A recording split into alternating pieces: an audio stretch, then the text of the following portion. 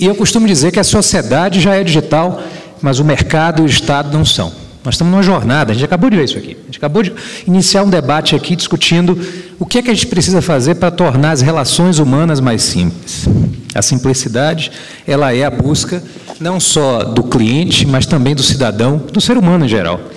Na Capgemini nós fazemos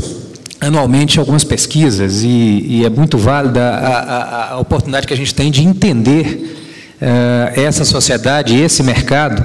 e esse aqui, a transformação digital, a lider, eh, liderando na era digital, é uma pesquisa, uh, uma publicação que lançamos em versão em português ano passado aqui no Brasil e que compreende um dos objetivos dessa associação chamada Brascom. Essa, esse trabalho da Capgemini, junto com o MIT, publicado pela Harvard Business Review,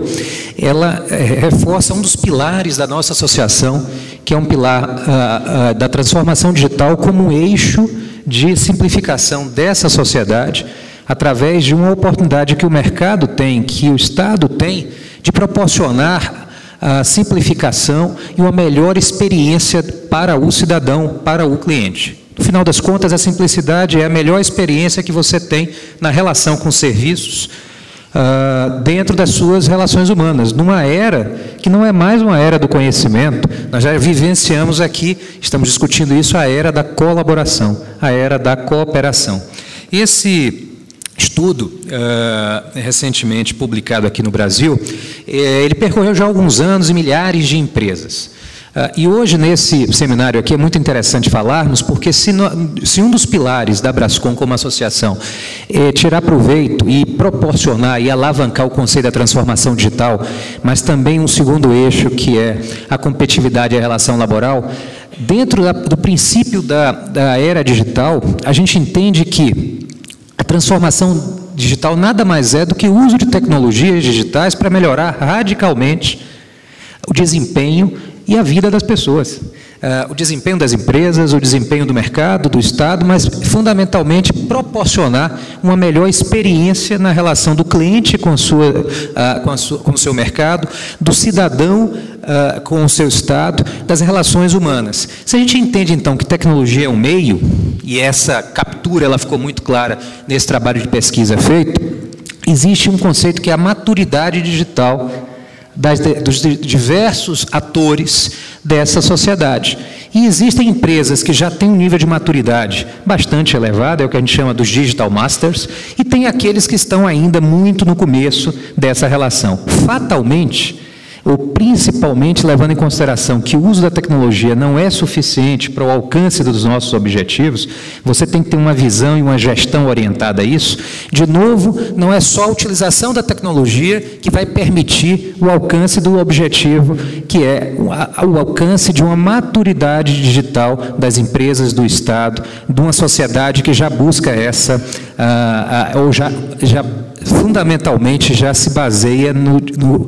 uso da tecnologia nas suas relações. Os dispositivos móveis, bem colocado aqui pelo Amazônia agora há pouco, estão aí. Nós temos a relação de todas as faixas uh, da sociedade, de todas as gerações, utilizando dispositivos móveis e as aplicações móveis, as redes sociais, a mobilidade em geral com as redes sociais, as informações e o mundo, da nuvem, né, vamos dizer assim, o SMAC, o nexo das coisas, isso é uma realidade, é um meio, é uma jornada para alcançar maior rentabilidade em algumas empresas, uh, ou para muitas delas, porque aquelas que utilizam efetivamente, se utilizam de tecnologias digitais e têm uma visão e uma gestão orientada a isso, elas já capturam mais retorno, seja em receita, seja em rentabilidade dos seus negócios. E o Estado? As relações públicas. Qual é o capital, qual é o retorno desse investimento na utilização da tecnologia digital, da era digital, ou dessa jornada que o Estado tem que passar? O capital, o retorno desse investimento está exatamente na questão da experiência do cidadão que eh, generalizadamente nós chamamos a experiência do cliente. Isso em alguns setores da economia, serviços financeiros, por exemplo, isso já está bastante evoluído. Quer dizer, os canais eletrônicos, a utilização dos canais digitais tomaram lugar às famosas agências bancárias que continuam existindo. Aos ATMs que continuam existindo, mas a exploração de canais eletrônicos, de canais digitais, do omnichannel, é uma realidade nos serviços financeiros, como é uma realidade já no varejo. Mas a experiência do cliente no setor público é algo ainda é, incipiente e ainda num processo progredindo, é bem verdade, mas num processo gradativo. E aqui vem o, o conceito-chave do sucesso na transformação uh, e para liderar na era digital. Não adianta só você ter uma, proporcionar uma boa experiência ao cliente, mas a experiência ela tem que se basear em simplicidade, ela tem que se basear na facilidade de utilização e, notoriamente, em poder efetivamente fazer tudo isso a qualquer tempo, em qualquer lugar, de acordo com a sua necessidade. Pensemos nós, como cidadãos, se a gente já tem, obviamente, essa facilidade de serviços uh, no setor público. Parabéns ao Maia por já mostrar aqui estamos progredindo. Parabéns, parabéns a vários outros, uh, várias outras entidades, setores uh, do setor público que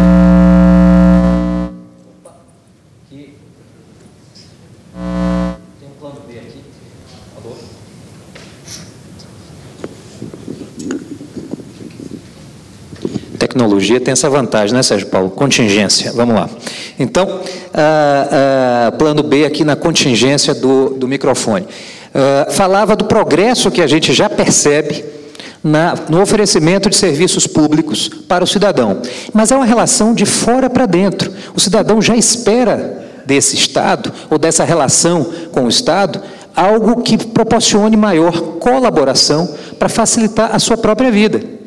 do ponto de vista de custo, de simplicidade, é, novamente, de permitir que o Estado seja algo é, que permeie a sociedade naturalmente. Bom, a experiência do cliente, então, ele requer uma clareza maior sobre quem somos, entendimento do cliente, entendimento do cidadão, e proporcione também, claramente, uma perspectiva de uh, relacionamento a qualquer tempo, em qualquer lugar. As operações, naturalmente, tipicamente das empresas, elas se baseiam em transações, em relacionamentos, serviços e informações. As operações também estão num,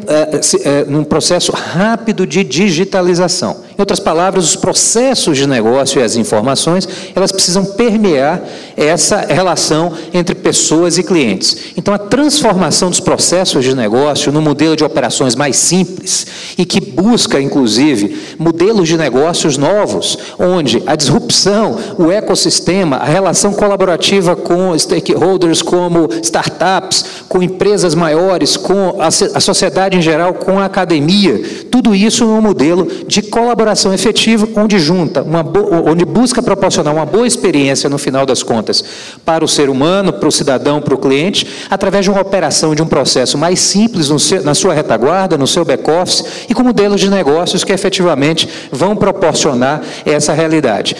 Ah, ah, na lógica da da desafia o seu modelo, né? seja realista, porém paranoico, a lógica aqui é o seguinte: os serviços bancários, por exemplo, já não são mais os mesmos. As relações de pagamentos e transações numa moeda, que não é mais a moeda exclusivamente papel moeda, é moeda digital, a relação da, do peer-to-peer, -peer, do business to business, a lógica do, do câmbio com transferência de valores, o mundo da segurança aí,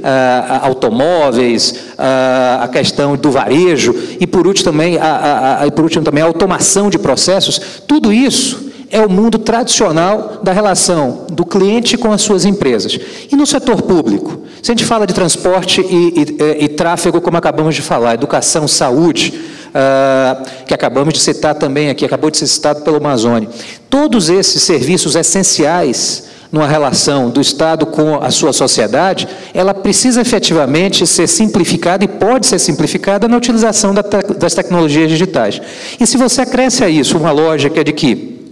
a experiência ao final do cidadão é o que vale, a simplicidade do relacionamento, o canal de relacionamento, ele deixa de ser um canal, de novo, tradicional, onde eu vou na minha repartição pública, onde eu dependo de uma estrutura normalmente cara, porque é uma estrutura em qualquer setor uh, da, da, economia, seja ela financeira, seja ela um banco, seja ela uma empresa de telecomunicações, ou seja, seja ela uma empresa de varejo, uh, o canal tradicional é um canal mais caro, porque ele é um canal que requer estrutura de pessoas, instalações físicas, uh, e o canal digital, e a gente estava ouvindo outro dia pesquisas também relacionadas ao comércio eletrônico, ele é efetivamente o canal mais barato, ele é o canal que proporciona essa relação mais generosa entre o mundo complexo e a simplificação na relação entre as pessoas. Uh,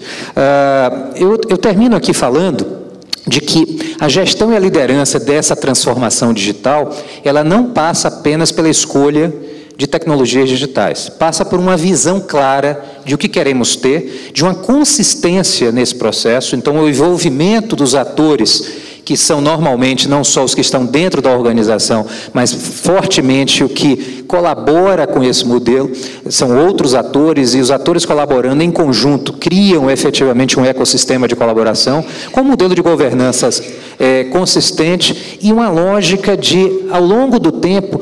perseguir de forma contínua a evolução desse modelo. Aí a maturidade digital é alcançada e a bússola de transformação se completa. A, a lógica de para onde estamos indo, ela, ela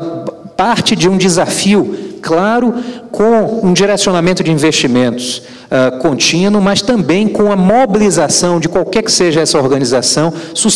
sustentando essa transformação. Esse trabalho, essa visão nossa da Capgem e da Brascom, ela sustenta o que nós entendemos que é momento em que vivemos e a oportunidade que temos de fazer dessa sociedade, dessa economia baseada em mercado e baseada em Estado, uma economia, ah, uma sociedade melhor, uma sociedade que entregue ah, mais simplicidade para a vida das pessoas, ah, oferece, através e por meio de pessoas e tecnologia. Essa é a visão que temos. Queria agradecer a oportunidade de falar e aberta aqui ao debate.